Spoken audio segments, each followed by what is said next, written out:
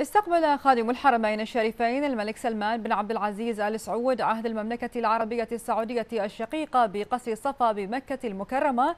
صاحب السمو الملكي الأمير سلمان بن حمد الخليفة ولي العهد نائب القائد الأعلى النائب الأول لرئيس مجلس الوزراء.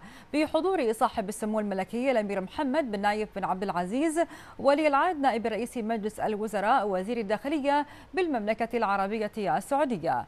حيث نقل سموه حفظه الله تحيات حضرة صاحب الجلالة الملك حمد بن عيسى الخليفة عهد البلاد المفدى لأخيه خادم الحرمين الشريفين وتمنيات جلالته للمملكة العربية السعودية وشعبها الشقيق المزيد من التقدم والازدهار في ظل قيادتها الحكيمة.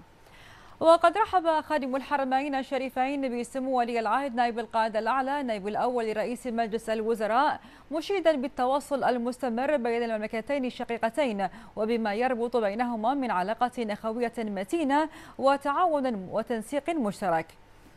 وأبلغ سموه بنقل تحياته إلى حضرة صاحب الجلالة الملك المفدى حفظه الله ورعاه وتمنياته لمملكة البحرين المزيد من التقدم والنماء.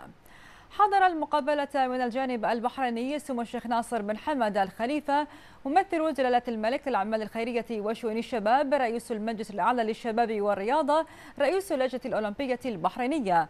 ومعالي الشيخ خالد بن أحمد بن محمد الخليفة وزير الخارجية وأعضاء الوفد المرافق لسمو ولي العهد نائب القائد الأعلى النائب الأول لرئيس مجلس الوزراء.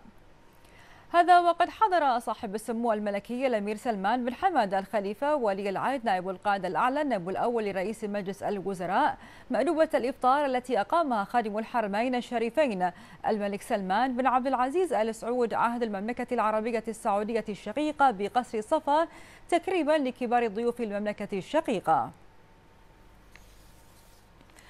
ثمن صاحب السمو الملكي الامير سلمان بن حمد الخليفة ولي العهد نائب القائد الأعلى نائب الأول لرئيس مجلس الوزراء الجهود الكبيرة التي بذلتها وتبذلها المملكة العربية السعودية الشقيقة لخدمة الإسلام والمسلمين خاصة ما توليه من اهتمام بالغ بخدمة الحرمين الشريفين وقاصديهما من حجاج ومعتمرين وزوار وما تقوم به في هذا الشأن من إقامة المشروعات العملاقة لتوسعة الحرمين وتطوير جميع المرافق المرتبطة المرتبطة بهما.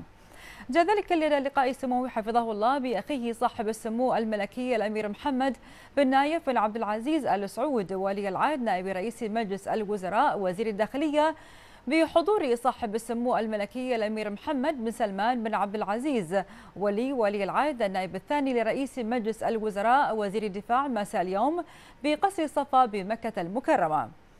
وأكد سموه أن العلاقة المتميزة بين مملكة البحرين والمملكة العربية السعودية الشقيقة الراسخة والتاريخية وما تتسم به من تطابق في المواقف ووحدتها تجاه مختلف القضايا هي مثال العلاقات الأخوية الراسخة والمتينة التي نسعى دوما في البلدين إلى تعزيزها وتطويرها في مختلف المجالات. انطلاقا من اهتمام ورعاية قيادتي البلدين الحكيمتين. وخلال اللقاء جرى بحث العلاقات الأخوية بين البلدين الشقيقين وسبل دعمهما وتعزيزها في المجالات كافة إلى جانب استعراض ومناقشة آخر مستجدات الأوضاع على الساحات الخليجية والعربية والدولية. حضر اللقاء سمو الشيخ ناصر بن حمد الخليفة ممثل جلالة الملك للأعمال الخيرية وشؤون الشباب رئيس المجلس الأعلى للشباب والرياضة رئيس اللجنة الأولمبية البحرينية. ومعالي الشيخ خالد بن أحمد بن محمد الخليفة وزير الخارجية وسعادة السيد عبد الله بن إبراهيم الرواحي رئيس الديوان الملكي فيما حضر من الجانب السعودي معالي وزير الدولة عضو مجلس الوزراء محمد بن عبد الملك آل الشيخ الوزير المرافق. وكان صاحب السمو الملكي الأمير سلمان بن حمد الخليفة قد وصل مساء اليوم إلى مطار جدة الدولي في زيارة أخوية للمملكة العربية السعودية الشقيقة.